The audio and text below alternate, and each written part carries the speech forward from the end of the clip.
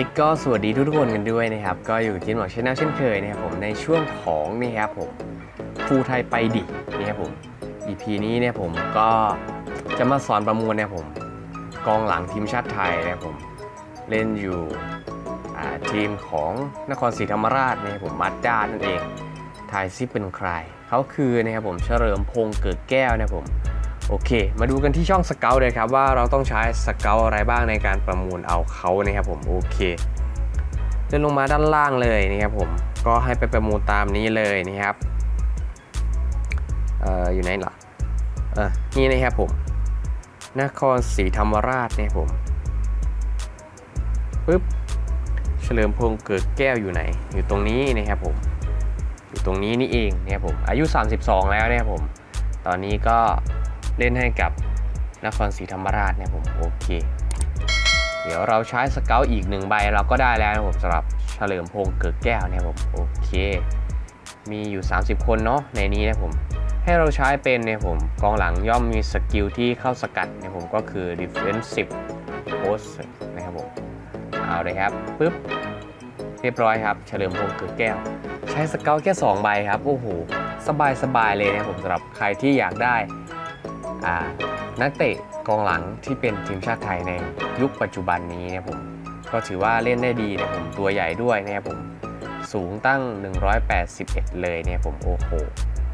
skill เนี่ยก็ถือว่าโอเคอยู่นะผมเป็นกัปตันทีมด้วยเนาะบิวอัพเนะครับผม Fighting Spirit เนี่ยผมโอ้โหสปิริตสูงเลยนะครับผมสำหรับเฉลิมพงษ์เกิดแก้วนะผมโอเค ใครได้แบบนี้แล้วกดทรายไปเลยครับ กดทรายไป เรียบร้อยครับ เฉลิมพงษ์เกิดแก้วครับ เรียบร้อยโอเค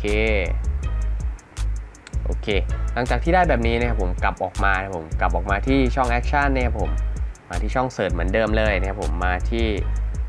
scout ไทยเนาะแล้วก็เลือกไปที่ current club เนี่ยผมมาเลือกที่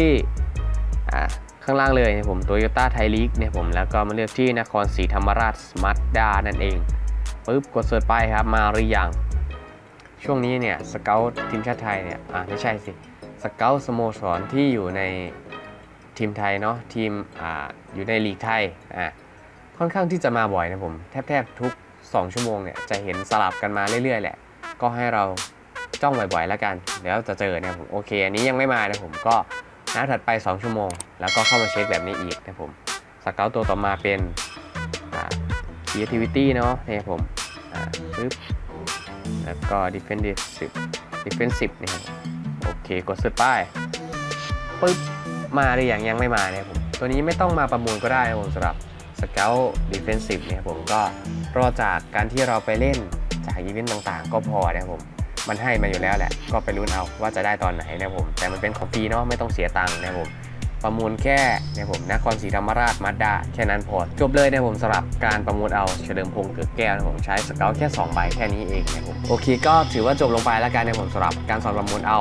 เฉลิมพงษ์เกิดแก้วนะครับผมกองหลังเซนเตอร์แบ็กของทีมชาติไทยในยุคปัจจุบันนะครับผมโอเค เดี๋ยวเรามาเจอกันใหม่ครับใน EP ต่อไปของช่วงฟูไทยไปดินะครับผมโอเค เดี๋ยวเราเจอกันใหม่ครับในคลิปหน้าสำหรับคลิปนี้ก็ขอลากันไปเพียงเท่านี้นะครับผมบ๊ายบาย